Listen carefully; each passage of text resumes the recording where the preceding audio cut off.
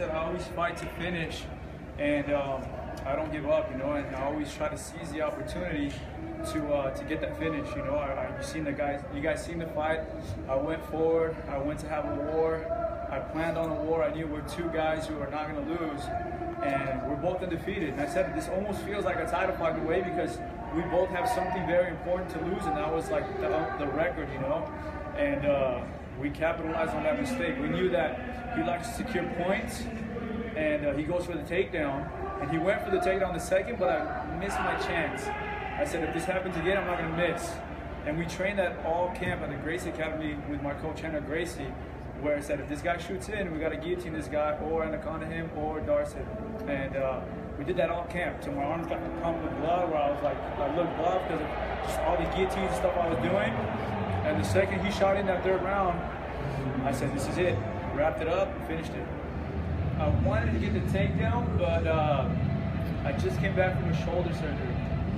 And it was just, it's been on my mind a little bit where I don't want to shoot too much because I don't, you know, like, I want to keep these guys fresh. And uh, the incidents have, that I had before happened during wrestling. So uh, I shot in, but it wasn't, you know, it was just kind of like a half-ass shot. But, uh, but yeah, maybe once I get, you know, like my shoulder's a lot more stronger, then I'll be wrestling more. Are they healthy going into the fight? They're healthy going in. I think it's just more like a mental thing, you know, like uh, this one got injured wrestling, this one got injured wrestling. Like, uh, forget the wrestling. Did I injure my leg? So uh, we knew this guy was gonna kick, and I went with some heavy Muay Thai guys, and my leg was already freaking sore from before the fight. It came to the point where you would touch my leg, and I was like, oh, like it, would, it hurt too much, and I knew, like coming in this fight, I go, man, this guy's gonna kick me, and it's gonna hurt. And uh, I felt it the most in the third round, where I was just jabbing, and he uh, he kicked me one time, really good, right in the spot.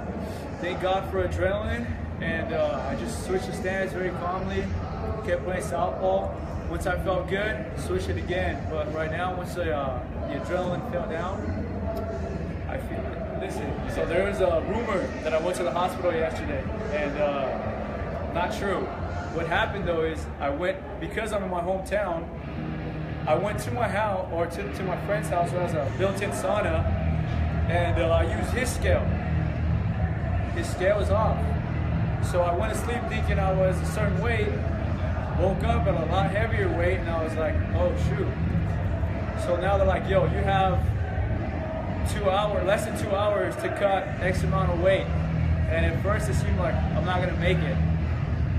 So I went in my room, moved all the furniture, did everything, put the sauna suit, did 10 five minute rounds in the sauna suit to the point where I was just, I gotta make this weight. I need to, I need this fight. I wanna fight.